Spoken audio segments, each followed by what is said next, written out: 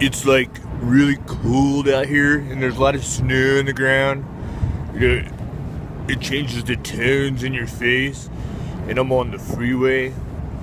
It's like highway to the danger zone. Ha!